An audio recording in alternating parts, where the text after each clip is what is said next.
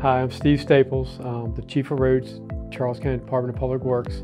Today we're here to talk about what to expect during winter weather. So when a storm is expected, we uh, watch the, the weather forecast. Once we know when to expect the snow to start, we put a plan together, get approval. Once we have approval, we start phasing in our contractors and county staff to get everything ready. So all of our vehicles and contractors are out there ready to go uh, well before the snow even starts. So the way we treat our roads is once the snow starts and we have about a half inch to an inch of snow, we'll start applying salt. It's just a solar salt and we apply it, let it sit on the roadway and let it activate and it'll help break the bond of the salt and ice to the roadway. And then once it gets up to a, you know over an inch and it's plowable, we uh, put our plows into action to plow the snow off the roadway. Also keep in mind that we do not plow uh, every residential road until the snow reaches at least three inches. Uh, we focus mainly on main roads, so again, until it gets to about three inches of snow, we don't plow every residential roadway. So keep in mind, we only plow county-owned and maintained roadways.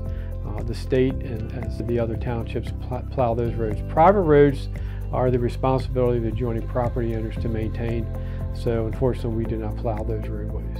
When it snows, we ask everybody to uh, stay off the roadways until we can get them plowed. Also to park cars in driveways and get them off the roadways, or if it's in a tight cul-de-sac where maybe all the cars don't fit in the driveway, maybe park on one side of the street.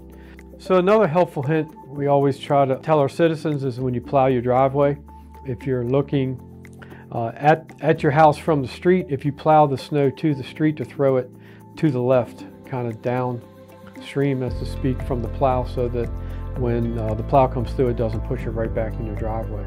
Unfortunately, uh, the plows can only plow to the right side of the road, so there will always be a little bit of snow that will go in front of your driveway.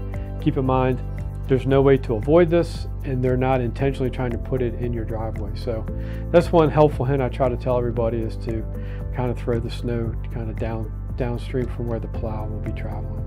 Also, we always encourage people to visit our website where we have what to expect when it snows and a targeted response times and it kind of tells you when your roads will be plowed and how many hours after the storm or after how many inches of snow we have received. So again, please visit our website. It has all, all the valuable information that can help you during these storms.